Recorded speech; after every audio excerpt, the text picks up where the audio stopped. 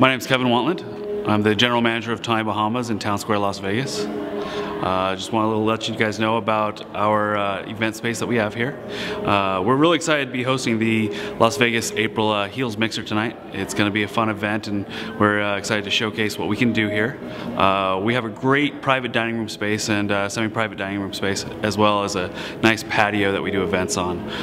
we're able to do event sizes from your 10s all the way up to your 150, 200 people groups. So we just like to have fun and we want to make sure all of our guests enjoy themselves as well.